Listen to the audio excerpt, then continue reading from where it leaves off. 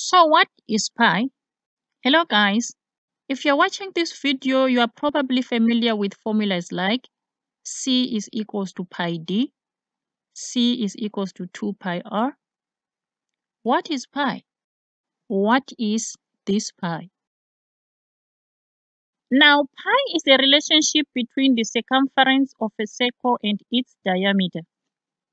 It indicates or shows how many diameters make the circumference of a circle.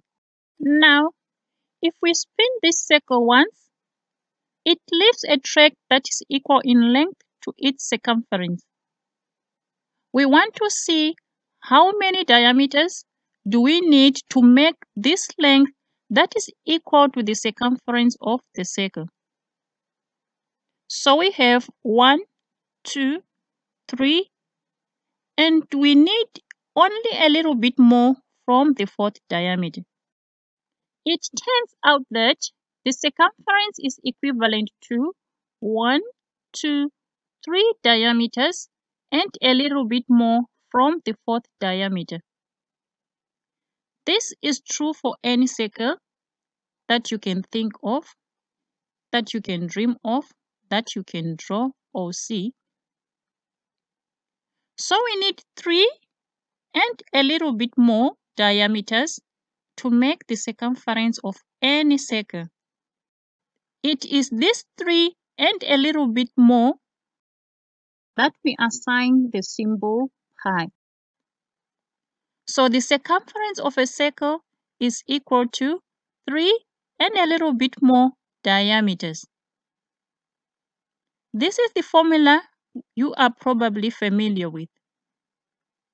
We use this formula to find the circumference of a circle. Now we have the formula C is equals to pi d.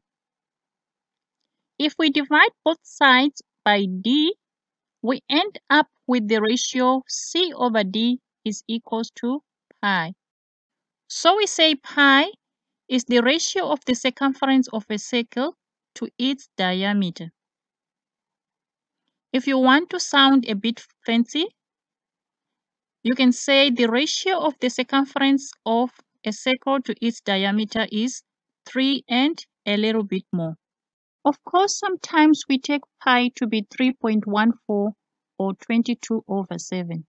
Now, how much is this little bit more is what we'll be looking at in the next video, in which we will explore the numerical value of